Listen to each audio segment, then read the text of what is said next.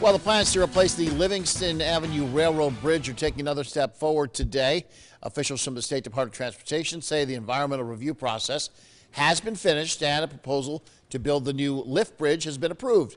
Current structure, which connects Albany with Rensselaer, was built a little while ago, back during the Civil War. Supporters of the project say it will improve rail uh, speeds and add more pedestrian and bicycle walkways. So we're going to have yet another great point of connectivity because this new Hudson crossing will complement and build upon the success of all of the previous projects that we've got here in the, in the area. The uh, $400 million project uh, would be funded through a uh, five-year, $32 billion capital project approved in this year's state budget. Construction expected to start at the end of next year.